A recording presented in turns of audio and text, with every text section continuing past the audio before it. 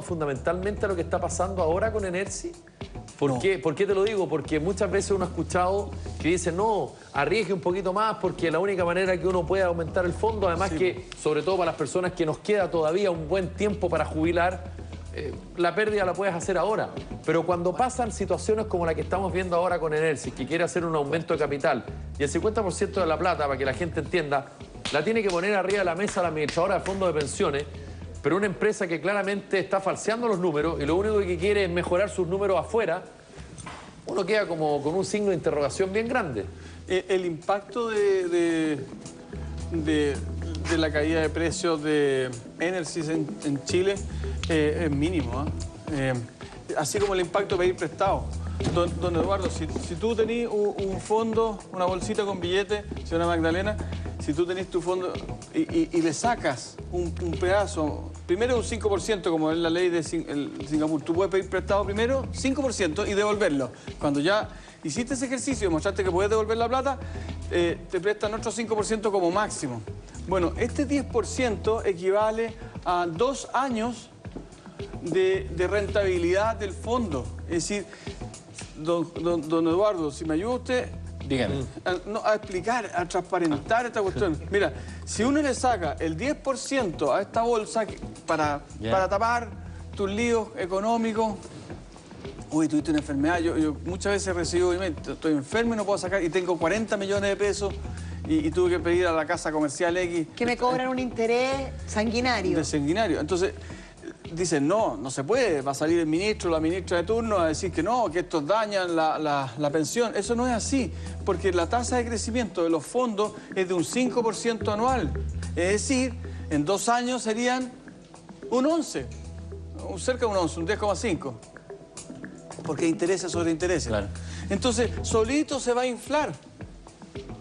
La verdad es que no te van a pasar la plata, en Singapur por lo menos, si es que tú no devuelves, no te va a pasar más plata si es que tú no devuelves el 5% pedido prestado.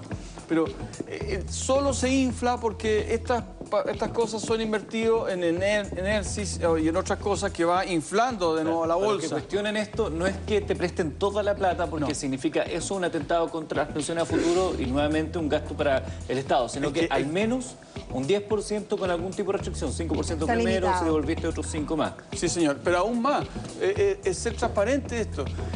el sistema al que más le ayuda es al propio Estado, porque esta es la pensión mínima asegurada por el Estado, por el sistema estatal, que si no estuviera esto, el Estado igual tiene que ponerse. Claro. Entonces, al, tú estar cotizando y tener la ilusión de que tú estás eh, eh, explicando tu, pensión futura, o depende de ti tu pensión futura, le estás ayudando al Estado porque ahora el Estado va a tener que poner diferencial nomás. No sé si me explico. Sí, Claro. Este es un sistema inventado, muy buen sistema, inventado por un hermano del presidente Piñera. José Piñera. Sí, y es brillante, avispado. ¿Por qué esta pega antes lo hacía el Estado entero? y ahora lo hacemos nosotros y estamos convencidos que podemos hacer algo para tener una pensión superior a la mínima. Y mientras más se esfuerzan las personas que ganan 600 mil pesos para abajo, esto es más complicado lo que estoy explicando, pero ya hay impacto, así que ya, ya nos escuchan. Eh, lo que estamos haciendo en realidad es haciéndole la pega al Estado. Entonces el Estado lo que está haciendo es guardándose la plata, quería usarla para pagar pensiones y la está prestando 18 mil millones de dólares a Estados Unidos. Aún más, tiene como 42 mil millones guardados. ¿Para qué no sabe? El, ministro, ex ministro Velasco lo sabe. Ahora ser candidato, candidato buena persona probablemente. Eh, eh, eh, y guarda, guarda, guarda lucas para qué? Para nada. Lo que único sí se sabe es que a todos los chilenos nos obligan a guardar lucas para que las empresas tengan lucas para financiarse sus proyectos. Brillante. Yo lo encuentro brillante. Esto no lo... Mira, ningún gringo se le ocurrió.